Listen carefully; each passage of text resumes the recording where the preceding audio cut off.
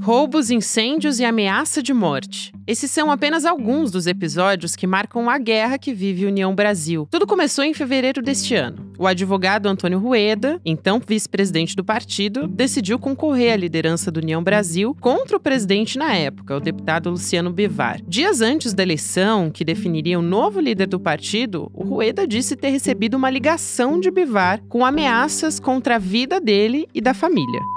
E eu vou até atrás da tá?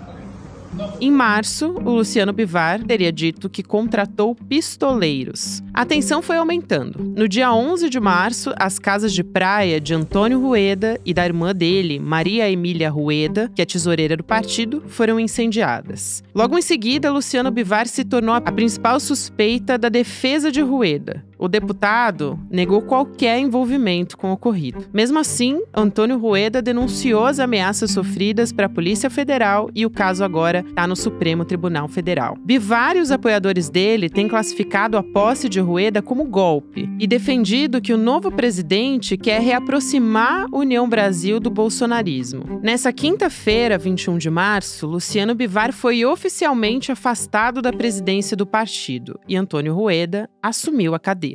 Sexta-feira, 22 de março de 2024.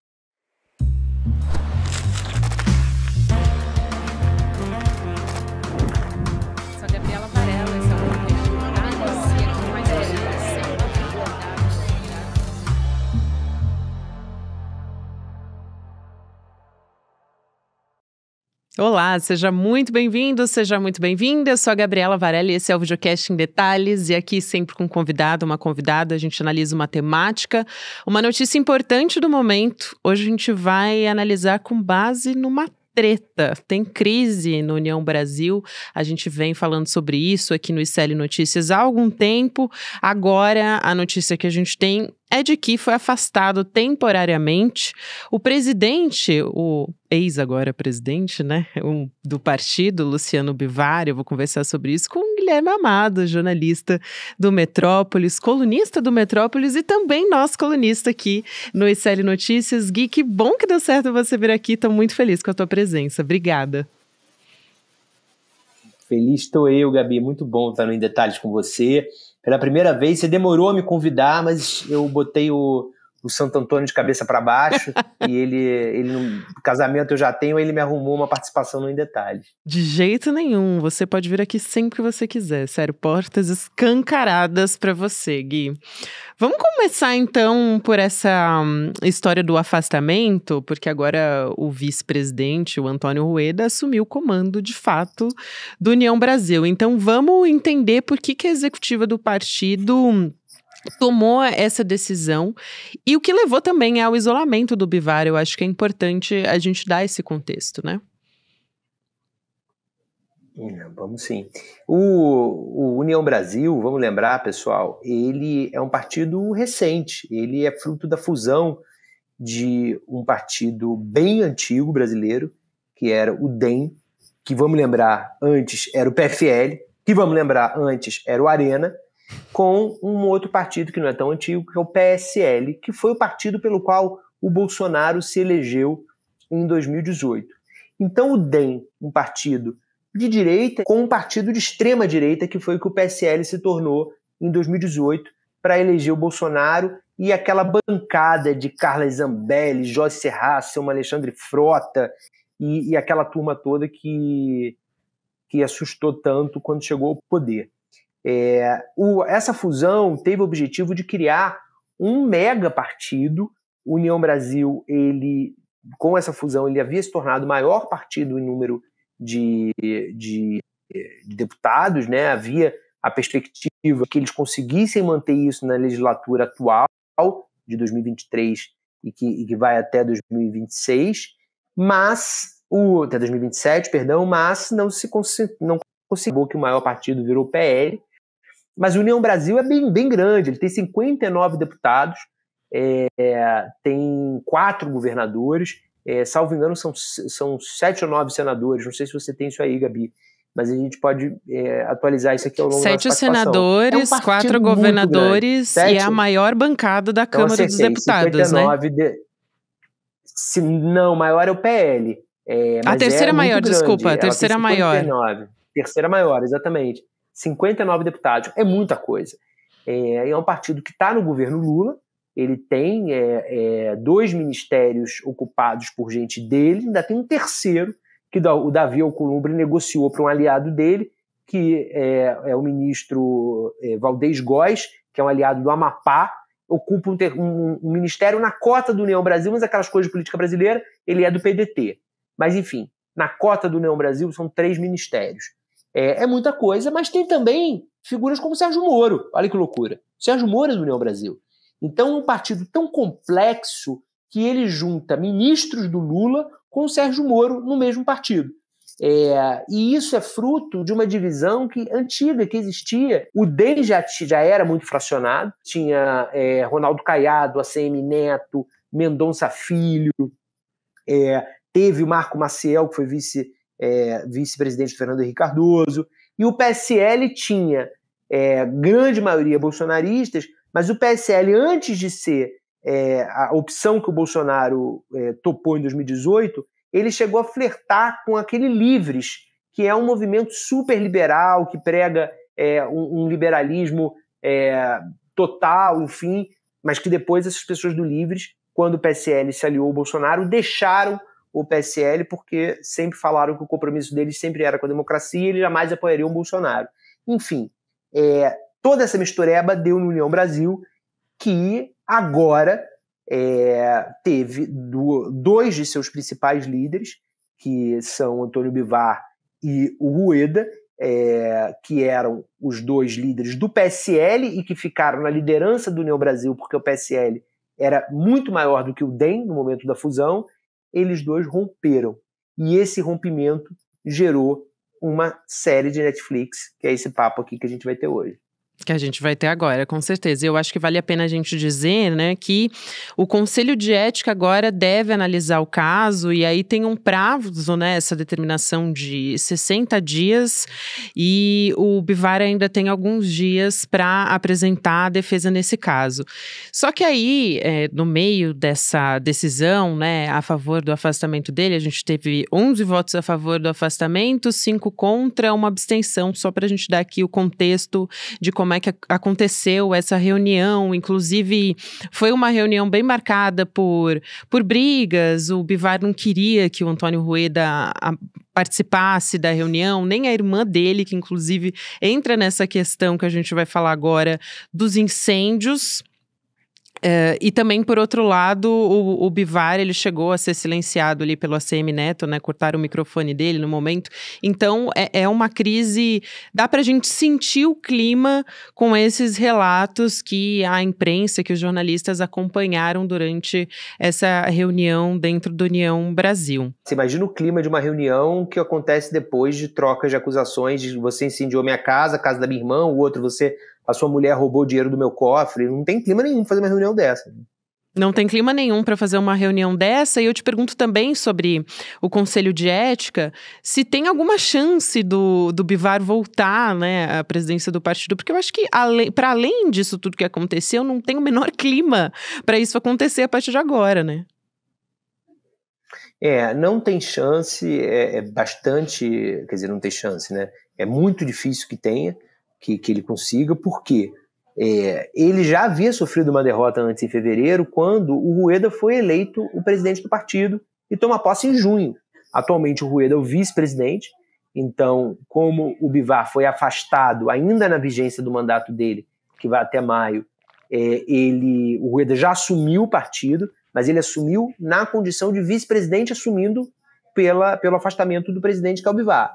Se na correlação de forças é, do, do atual do União Brasil, o Bivar já havia sido derrotado pelo Rueda, é, agora foi afastado novamente. Há uma comoção grande depois dos incêndios na casa do Rueda e da irmã dele, é, de que o Bivar, né, que é o principal suspeito, é, principal suspeito na cabeça do Rueda na cabeça de todos os aliados dele no União Brasil, porque juridicamente, a gente vai falar disso mais tarde, é daqui a pouco, mas não juridicamente ainda não há sequer um inquérito investigando o Bivar, é, mas não, não tem clima para o Bivar voltar. É, ele dificilmente volta. o mandato dele como presidente termina em maio e, naturalmente, em junho, o Rueda assume porque ele venceu essa eleição de fevereiro. Em qual contexto que o Antônio Rueda vai assumir a partir de agora? Porque acho que isso também é bastante importante. Ele tá. É, e acho que aí a gente pode falar do incêndio, porque tem tudo a ver, mas ele, inclusive, contratou segurança privada, diz que sofreu ameaças do Bivar, então por isso contratou essa segurança. Então, acho que vale a pena a gente explicar isso sobre esse contexto que ele está assumindo dentro do partido, porque tem ainda uma ala bivarista lá dentro, se ele tem apoio, e por outro lado, o, como que foi essa história do incêndio, que eu acho que é a, a grande questão que motivou toda essa conversa que a gente está tendo aqui, né? Exato. É, em fevereiro ainda, acho que quase certeza que foi fevereiro, final de fevereiro, depois início de março, a gente publicou na coluna a informação de que o Rueda havia procurado a polícia civil aqui do Distrito Federal, dizendo que o Antônio Bivar havia ameaçado uma pessoa da família dele. É, a gente sabe quem é a pessoa, é, nos documentos está muito claro, mas por uma questão de respeito à privacidade dessa pessoa, a gente não disse quem é a pessoa. Mas é uma pessoa da família do Rueda, e é, o Rueda apresentou um áudio, em, é, um, um, vídeo gravado em que aparece um, a conversa final da conversa do, do Bivar, com, uma conversa do Bivar com o Rueda, em que é, eles terminam falando, o, o, Bivar termina falando, eu vou acabar com a sua, e aí fala o nome, da, o nome do, do parente do Rueda que foi ameaçado. É, isso é a principal prova de uma representação criminal, né, que o, além de procurar registrar ocorrência na polícia, o Rueda fez é, contra o Bivar no STF antes do incêndio, tudo falando antes do incêndio, para que o Bivar fosse investigado por essa ameaça.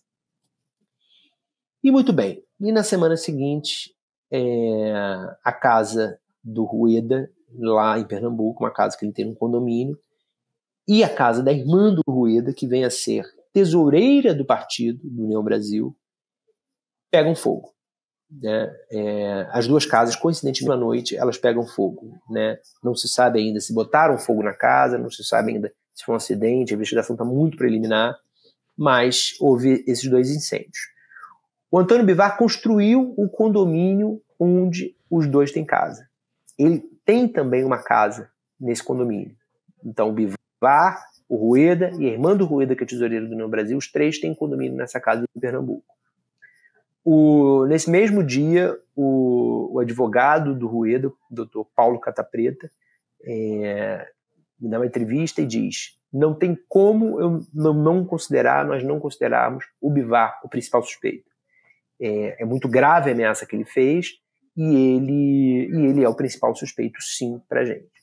Fazem uma nova representação no STF e é, nesse momento é, o, a PGR está analisando, a pedido do ministro Cássio Nunes Marques, que foi o ministro para quem foi sorteado o, o, a representação criminal, né, essa queixa-crime do, do Rueda contra o Bivar, para que a PGR analise se vai pedir abertura de inquérito ou não.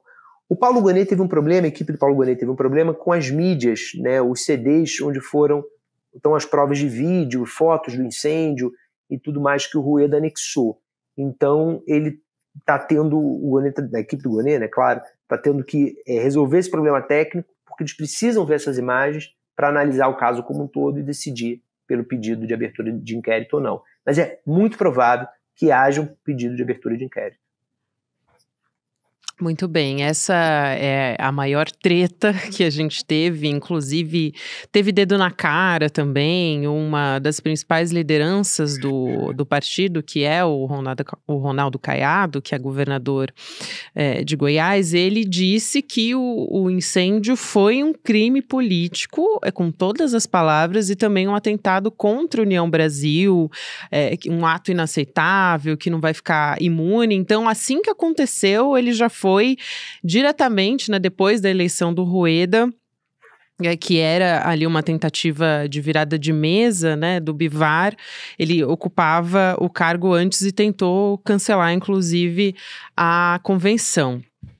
Eu também é, queria te perguntar por que, que o Bivar tem contestado essa eleição publicamente, né? Ele não aceita, quer dizer, agora não tem muito o que fazer a respeito disso, mas ele não estava aceitando o resultado, né, Gui? É, exatamente. Ele, ele diz que a eleição é, não foi uma eleição limpa, que é, houve por parte do, do Rueda manipulação do, dos votantes, né, e é, coação, enfim, diferentes coisas que o Rueda teria feito para é, conseguir ganhar. O, de novo, a chance disso é muito pequena de prosperar é, não, tem, não tem apoio dentro do, do União Brasil para que isso é, mude. E é uma virada de mesa que, se é, tentando na justiça, é, ela talvez fosse tratada de uma maneira bem diferente se não fossem os dois incêndios. Porque agora, vamos pensar, né, é, tudo, toda decisão judicial, como tudo na vida, tem, tem impacto político. Né? É, que ministro de Tribunal Superior Eleitoral é, vai, é, nesse momento, colocar de novo um, uma. dar uma decisão favorável a um suspeito de ter incendiado casas de seu adversário político. É, não, não, tem, não tem clima político para uma coisa dessa. Seria uma coisa muito mal recebida pela sociedade. É, o, os fatos eles são muito ruins para o Antônio Bivar. Ele pode até não ter nada a ver com esses incêndios. Mas o fato da ameaça feita na semana anterior, que ele admitiu, isso é importante a gente dizer, porque aí no dia que houve os incêndios, tinha um, um evento no Palácio do Planalto, ao qual o Bivar foi, e os repórteres perguntaram e ele admitiu a ameaça, mas disse que é coisa que se fala no calor do momento. Sim, quem nunca ameaçou a família de alguém, né? De matar alguém da família do outro. Quem nunca, né? né? Como se fosse uma coisa quem super nunca? normal, é uma coisa né? Trivial, claro. Né? Eu, é. domingos eu saio para comprar pão francês e, e ameaço a família do padeiro. É sempre assim. Enfim, não faz o menor sentido. Mas ele admitiu. Aliás, a gente pode falar isso hoje ainda sobre uma questão clínica, médica do Antônio Bivar, por favor. é uma coisa que já está sendo tratada publicamente, mas vamos falar daqui a pouco. Aí não tem como juiz nenhum dar essa decisão é, é, cancelando a eleição do, do, do, União Brasil, né, a eleição para a presidência do União Brasil. Então, muito dificilmente ele vai conseguir essa virada de mesa. Exato. E você falou também, Gui, sobre o, o, Supremo Tribunal Federal, né, acionado pelo Antônio Rueda, está pedindo que o Bivar seja investigado justamente pelos incêndios na casa dele, do Antônio Rueda, e na casa da irmã dele, que é tesoureira do partido, como você bem observou. E aí a ideia é que seja uma ação que seja juntada num, a um outro pedido de inquérito, né, que é justamente para investigar as ameaças que o Bivar, que, que o Antônio Rueda tem relatado ter sofrido do Bivar, né? Então vai virar uma questão jurídica também essa história. Vai virar, é, vai virar uma batalha jurídica. Agora, é uma batalha jurídica que ela pode ser muito encurtada a favor do Rueda, se a investigação dos incêndios chegarem do Antônio Bivar. É, agora tem uma questão é, que eu vou é, adiantar antes que você me pergunte, se me permite, que é sobre isso que eu falei do quadro clínico, que é, é importante a gente considerar também. É, o Antônio Bivar, ele, ele é uma pessoa, ele é um idoso, é, não me lembro também de cabeça a, a, idade dele, mas a gente descobre agora, porque é para isso que serve o Google. É, segundo o Google, ele tem 81 anos. É, e é, foi já tratado publicamente numa entrevista coletiva na semana passada é, que o deputado Elmar Nascimento, que é uma das principais lideranças do União Brasil, é o candidato do Arthur Lira para suceder o Arthur Lira. Quando teve o incêndio, o Elmar Nascimento deu uma entrevista coletiva na Câmara dos Deputados para é, tratar do, do assunto e responder pelo União Brasil, do que estava acontecendo, enfim. Ele, ele, é, ele é líder do União Brasil. E aí, repórteres perguntaram para ele sobre é, como que estava, é, o que, que, nisso tudo, como que se, que se é, é relacionavam é, a situação toda do União Brasil com o fato do, de um quadro clínico delicado, assim que o repórter tratou do Bivar. É, existe uma suspeita por parte de colegas do Antônio Bivar no União Brasil de que ele esteja num estágio inicial de demência. É, a demência é uma doença, uma doença séria, é, que tem que ser investigada. É, é, claro que existe sobre essa doença uma grande, um grande, é, uma grande conotação pejorativa, porque muitas pessoas que às vezes apenas estão idosas, mas não estão com a doença de demência, elas são pejorativamente apontadas como, como enfrentando a demência, mas o Antônio Bivar é, já estaria, segundo diversos colegas dele do União Brasil, já estaria investigando isso. É, então, se o quadro clínico do Antônio Bivar se é, for diagnosticado dessa maneira, se realmente se diagnosticar que ele tem é, um quadro inicial de demência, aí, enfim, a, a, retirada dele da cena pública pode ser muito mais, mais, é, mais rápida, né? É, na, nessa mesma entrevista que eu falei para vocês que ele confirmou as ameaças, o Antônio Bivar ele cometeu uma inconfidência que pode prejudicá-lo, além dele ter admitido as ameaças. Ele virou e disse que ele teve é, dinheiro roubado do cofre dele no apartamento que ele tem em Miami por parte da esposa, da mulher do Antônio Rueda. Aí os repórteres, como é que é? O senhor está acusando a, a, a, companheira, a esposa do Rueda, de ter roubado dinheiro do seu cofre no apartamento de Miami? Ele é, tô sim eu tinha dólares e libras lá, falou isso. Tinha dólares e libras lá e é, eu, eu, tinha emprestado o apartamento, confiei o apartamento e quando eu voltei o cofre estava vazio. Com as palavras dele foi isso que ele disse. E ele se complicou muito nessa, nessa situação, porque ele nunca declarou a, a justiça eleitoral quando, quando candidato, ele foi eleito no ano passado, do, perdão, em 2022, deputado federal, né? Ele é deputado federal. É, ele nunca declarou esse dinheiro. Então, ele tem um problema aí. Segundo o colunista Lauro Jardim publicou, é, se trata de 490 mil reais em dólares e libras. Se tratava, porque o dinheiro, segundo o, o Bivar, é, foi roubado. É, enfim, isso é mais um fato que mostra como é, esse, a situação do Bivar está como um todo confusa, né? Nossa, eu ia perguntar justamente sobre essa história, porque é um rolo tão grande que foi justamente isso. Foi uma declaração ali que ele deixou escapar, e aí foram atrás e descobriram que, na verdade, ele não tinha declarado esse valor no é, Tribunal Eleitoral. Então foi basicamente um ato falho que acabou, é, o Bivar acabou admitindo que ele não declarou dólares, né, que, que teriam sido roubados, pelo que ele declara. É, ele, ele que diz, né, que a esposa do, do presidente do União Brasil, enfim, é, acusou que ela teria roubado cofre com dólares. É muito boa essa história que você traz aqui, porque é mais um complemento de todo esse rolo, de toda essa crise e diretamente entre a família Rueda também com o Luciano Bivar. Para fechar, Gui, eu queria entender de que maneira essa história toda afeta o partido na tua visão. Porque a gente tem a União Brasil também querendo uma vaga na mesa da Câmara, né? E, e, e, aí só poderia recuperar essa vaga, esse cargo na primeira secretaria da, da casa se o Bivar é, fosse expulso. Então, a gente tem essa questão política também, se de alguma maneira isso enfraquece o partido ou não, porque como a gente já conversou aqui, o União Brasil é o partido que tem a terceira maior bancada da Câmara dos Deputados, tem sete senadores, tem quatro governadores, sem contar as emendas parlamentares, né? É. Olha, afeta é, porque deixa o partido é, numa bagunça interna no momento que eles é, planejavam que fosse de sentar e discutir qual vai ser a estratégia junto ao governo federal o Antônio Rueda, quando foi eleito presidente, agora em fevereiro, ele, nas primeiras entrevistas, né, antes de haver ameaça, incêndio e tudo mais, ele falou que ele queria, ele quando tomasse posse, ele iria rediscutir a relação com o governo federal, com o governo Lula. Isso não significa que ele queira romper com o governo Lula. Muito pelo contrário. Ele quer mais ministérios, ele quer mais cargos.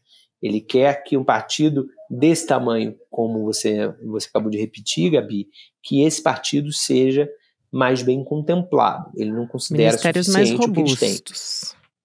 Ministérios mais robustos ou mais pastas, né, para de alguma maneira que ele ele sinta que haja mais representação. O Rueda ficou muito irritado com o Lula ter destacado Davi Alcolumbre na transição de 2022 para 2023 como interlocutor com quem ele negociou os espaços do União Brasil. O União Brasil é governo desde o dia zero. A negociação na transição foi feita entre o Lula e o Alcolumbre, conversas a sós, e o Alcolumbre disse ao Lula, e o Lula acreditou, que o Alcolumbre falava pelo partido inteiro. O Rueda, na época, disse em diversas conversas privadas que era mentira, que o Alcolumbre não falava pelo partido e que o Alcolumbre tinha enganado o Lula. É, mostrou isso com a pressão que eles fizeram é, para conseguir ter o, mais espaço né, no, no, no governo. Vamos lembrar que no primeiro ano do governo Lula teve toda aquela crise da substituição da Daniela, né, é, ministra Daniela do Turismo, Daniela do Vaguinho, que é, era um nome que não, é, não agradava toda a bancada, a bancada de deputados não se sentia representada na, no Ministério do Lula, é, vários setores do União Brasil não se sentiam, então era essa irritação do Rueda por o Davi Alcolumbre, na verdade, ter negociado mais para ele do que de fato para o União Brasil. E agora é isso que o Rueda quer. Ele quer renegociar.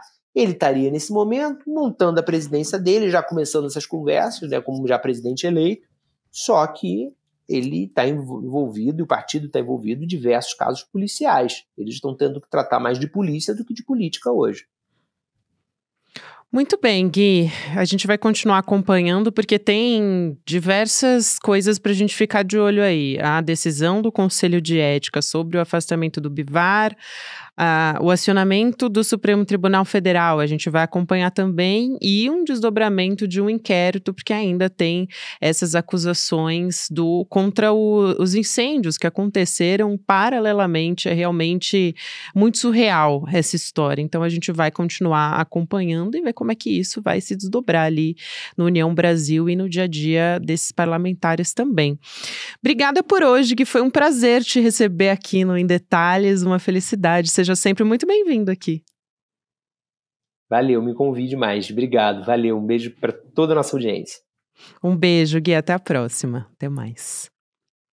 O videocast em detalhes fica por aqui. Lembrando que o nosso próximo episódio vai ao ar sempre às 10h30 da manhã, de segunda a sexta-feira, às 10h30 no YouTube. E você também pode ouvir nas plataformas de áudio. O episódio fica sempre disponível para você ouvir em qualquer horário do dia.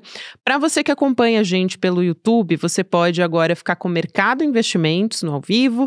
Na sequência, tem o Rolê ICL e à noite, às 6 horas da noite, tem ICL Notícias, segunda edição. Lembrando que a gente volta na segunda-feira com mais em detalhes e toda a programação do ICL. Obrigada, bom final de semana. Você seria capaz de fazer o mal, mas não um mal menor, um mal maior, desses que mais te assusta, esses que você mais critica nos seus dias, nas suas redes sociais. Provavelmente a sua resposta seria: não, eu não sou um monstro. Mas o que as pesquisas mostram pode te deixar chocado. A psicologia social estuda o comportamento humano e o porquê da gente fazer as coisas da forma como a gente faz. O maior especialista no mundo em psicologia social chama-se Elliot Aronson e aos 92 anos de idade é o psicólogo mais premiado nos Estados Unidos, tendo ganho o prêmio de melhor psicólogo, melhor pesquisador e melhor autor. Ele que escreveu esse livro, O Animal Social, o livro que mais influenciou na minha vida a minha forma de ver o mundo. A gente conseguiu marcar uma conversa com Elliot Aronson para ele nos ensinar sobre comportamento humano. E a melhor notícia é que essa conversa é aberta, gratuita, para todo mundo poder participar. Vai acontecer no dia 7 de abril, um domingo às 8 horas da noite. Para você participar, é só clicar no botão Saiba Mais aqui aproveite e chame todo mundo que você conhece para participar. Elliot Ronson, falando com a gente aqui no Brasil sobre esse tema tão importante. É agora ou nunca, irmão.